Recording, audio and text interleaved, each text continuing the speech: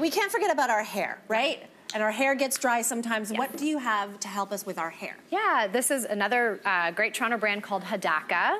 They came out with this Halo Hair Oil. It contains broccoli seed oil, which Oh. acts as a natural form of silicone. Okay. Um, so it adds hydration to the hair, and then it also adds shine. And what I love about this guy is it's another multitasker. So you can use it as a hot oil treatment. So just douse your hair in it. Do you and put just a run your fingers just through it run if it your, all through.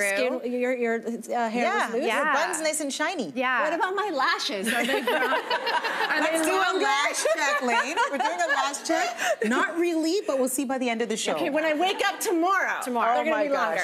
gosh. Um, what about, do you yeah. put this on wet or dry hair? Because Lainey and I, our hair is Yeah, obviously dry, and we just put you it on. You should put it on dry hair for sure. I know a lot of people with coarse or really curly hair like to just add an oil to the ends of their hair to help kind of define the curls or help prevent uh, split ends. You can do that as well. You could do hot oil treatments, so slather your hair in it, put a shower cap on, go in the shower, and the steam will help open up the hair shaft and the oil will get in.